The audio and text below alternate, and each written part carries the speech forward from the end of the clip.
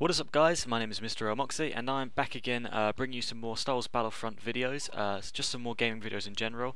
Uh, I'm going to be back producing videos on a more regular content because uh, I've got some free time now to do stuff. Uh, but first for some of you guys who may be new around here, I'm going to reintroduce myself and kind of get this all in perspective so I can start the video.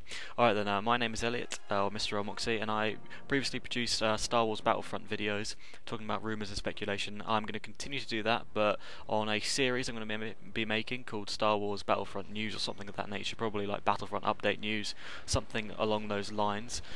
Some of you may also be aware that I was uh, producing a film podcast before I stopped making videos and stopped making podcasts and that stuff. Uh, I'm going to be doing some film related videos soon, uh, not too many though, it's going to be focusing mainly on gameplay this channel, but uh, I hope to bring you some guys some top 10 films of the year and stuff, some stuff like that that you guys can check out. Anyway, let's moving on. Uh, this video uh, is the first episode of Star Wars Battlefront news. Um, basically, We've got some news about the Star Wars Battlefront 3 that was apparently going to come out or somewhere around this time, but obviously hasn't. Uh, the news is basically saying that Steve Ells, or Steve Ellis, I don't really know what his name is, says he was the co-founder of the company called Free Radical. Uh, those of you following Star Wars Battlefront throughout the, the time of its development will know that they were the rumoured, or they probably they were the developers of Battlefront 3 before it got stopped uh, production. Um, basically, what this guy came out and said is that the game was 99% finished before LucasArts cancelled the project.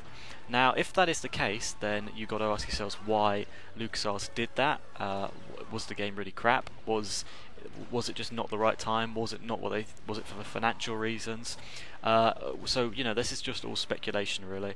Um, and then we had a couple of days ago we had another article released from GameSpot now, what this GameSpot article says is actually quite interesting because uh, he kind of defuncts the uh, the stuff that the Free Radical guy was saying. This guy's an anonymous guy speaking to GameSpot, but already it's GameSpot, and I find them to be more reputable company than GamesTM because I'm not really familiar with GamesTM, and that's who the other source came from.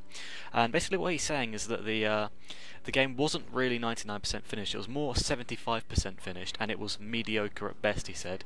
Um, he also said that Free Radical were uh, operating under a Ponzi scheme, which uh, I'll quickly explain, explain, for you what that is first. Uh, Ponzi scheme is basically where uh, a, an investor gives money to someone to make something or do something, and uh, the, the the guy, the person who's doing the actual thing, takes the investor's money and spends it on something else.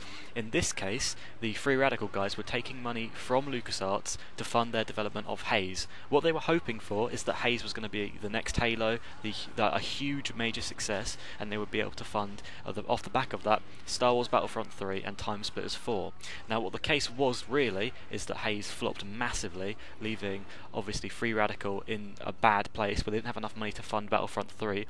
Uh, so you know this is probably why the game was in such poor quality when LucasArts came to inspect it. Being said though, this could still be a rumor. I'm definitely not. I'm not 100% saying this is true because it probably isn't. And a Ponzi scheme is actually really serious. It's uh, I think it's punishable by law to do something like that. But uh, so I'm not saying that they are doing it. I'm just giving you the information we've heard. Uh, anyway, so basically, uh, LucasArts were also saying, well, this LucasArts employee, he's an ex-employee, uh, he's being kept anonymous, said that uh, the game, uh, the not the game, the Free Radical were missing deadlines. They were uh, they were they were spending the money too quickly. Uh, so LucasArts gave some kind of goodwill gesture payments, which uh, obviously was spent on possibly Haze, which you know this is the reason why the game apparently failed because LucasArts pumped so much money into it and it wasn't going anywhere. The game wasn't good enough, uh, so they just generally uh, cancelled the game. Uh, and that's why we've been seeing all of these videos on YouTube uh, about Star Wars Battlefront 3 looking very buggy. Well, not buggy, but it looks like an unfinished game. It doesn't definitely doesn't look 99% complete, does it? In similar fashion to my other videos, I'm going to give my opinion for a bit. Uh, I personally think this is a very viable thing what could have happened to the Battlefront 3. It seems, it doesn't seem likely, but it seems like uh, a very suitable explanation for why this game was, was canned and why LucasArts felt the need to, to cancel it. Uh, I, Free Radical are quite a good company in my opinion. They made Time Splitters, which is one of my favourite games on the GameCube and the PlayStation. Um, but really, I could definitely see this as a very valid case because, as we all know, Haze was supposedly going to be the next big thing. I remember the time it was coming out, everyone was really hyped, and it came out to commercial and critical failure.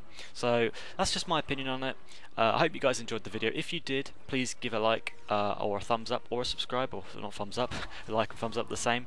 Um, and next time, I'm going to be talking about some news about the, the Star Wars Battlefront 4, uh, some news on some pictures we've been seeing about them. That video should be coming up in, in a short time because I'm going to try and pump out some more videos over this week. Anyway, guys, thanks for watching, and as always, may the Force be with you.